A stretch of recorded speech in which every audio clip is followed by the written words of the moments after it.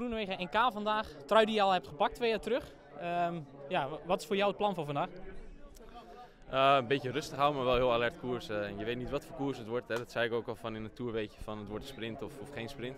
Uh, vandaag kan je dat gewoon niet zeggen en weet je dat niet. En, ja, we moeten gewoon heel alert zijn met de ploeg en ja, ik zelf ook. Ben jij degene die in het scenario van een massasprint moet winnen of kunnen we jou ook verwachten in aanvalspogingen? Uh, dat is lastig om te zeggen. Hè. Tuurlijk vind ik een massasprint, dat, uh, dat is voor mij prima. Maar er zullen ook genoeg jongens zijn die willen koersen. Uh, je weet een beetje wie de sterke jongens zijn van, van de grotere ploeg. En ja, dan moet je ook gewoon scherp zijn om mee te schuiven. Ben jij voor jullie ploeg de man vandaag? nee, we hebben verschillende scenario's en iedereen maakt gewoon kans om te winnen. Dat, dat hebben we gisteren ook besproken. En ja, tuurlijk als het de sprint wordt, mocht het de sprint worden, natuurlijk trekken we dan mijn kaart. Als je één naam moet noemen, wie staat er dan aan het eind van de dag met rood-wit-blauw in, in zijn handen? Ja, die vraag kreeg ik net ook al, maar dat is heel lastig om te zeggen. Je, ja, je weet niet wat voor koers het wordt. Het kan een groep zijn die weg zijn, het uh, kan een sprint worden. Maar ik hoop dat het iemand van ons ploeg is. Dankjewel, succes!